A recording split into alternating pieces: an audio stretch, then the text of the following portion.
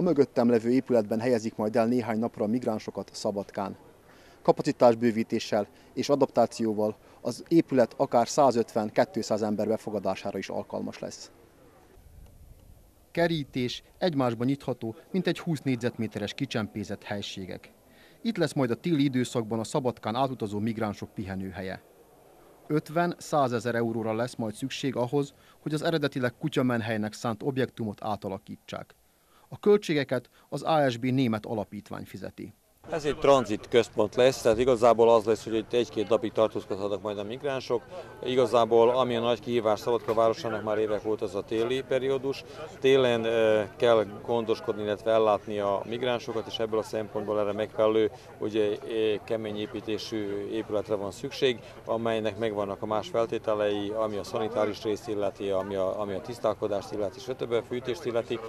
A polgármester szerint a város területén ez a legalkalmasabb helyszín a központ központ létrehozására.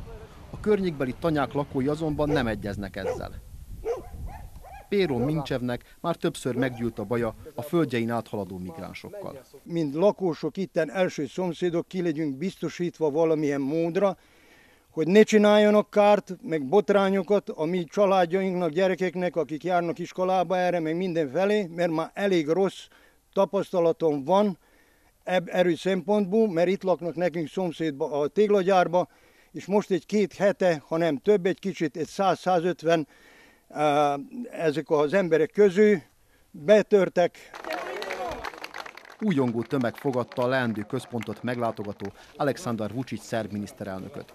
A szerb haladópárt helyi aktivistái üdvözölték a pártelnöküket.